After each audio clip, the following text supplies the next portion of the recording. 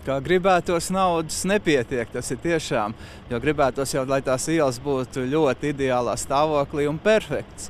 Bet nu, ziema ir ziema. Un, uh, Es domāju, priekš maģistrālām ielām, ko mēs šobrīd varam atļauties uzturēt, nu, priekš šiem apstākļiem viņas ir pagaidām izbraucams un vēl uztraukumam pamata nav. Kā ir, teiksim, ko tad jūs šobrīd tīrat, ko jūs netīrat, un, un, un cik ilgā, nu, teiksim, ar to esošo finansējumu, cik ilgi tāda ziema var pieturēties, lai mēs zinām, nu, ka, ka nebūs pavisam traki?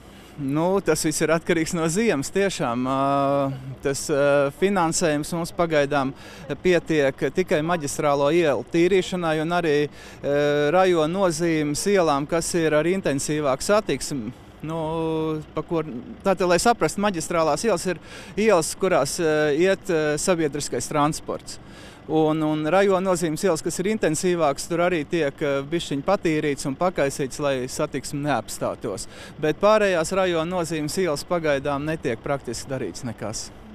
Bet šobrīd tas jau arī atkarīgs no tieši nu, kāda tie laika apstākļi. Tagad ar to lielo puteni tur, tur principā nepārtraukti jāstrādā. Lai būtu ielas labas, izbraucamas pie šādiem laika apstākļiem, tiešām būtu jāstrādā nepārtraukti dienu un nakti.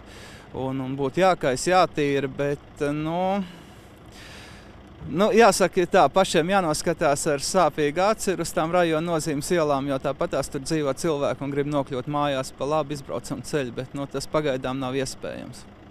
Bet nu, izskatās, ka nu, līdz ziemas beigām vismaz tām maģistrālajām un tām nu, svarīgākajām rajoniem būs. Jā. Nu, tā, ka, nu, respektīvi, mēs varam rēķināties apmēram tā, kā ir šodien. Nu, tā arī būs. Nē, no finansējums jau gada sākumā, teiksim, gada griezumā piešķirties finansējums gada sākumā jau vienmēr tas maceņš it kā liekas, ka ir un var atļauties.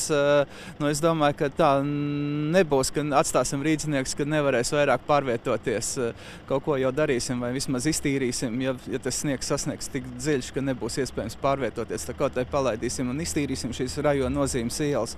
Nu, maģistrālās ielas mēs uzturēsim, lai sabiedriskais transports varētu izbraukt.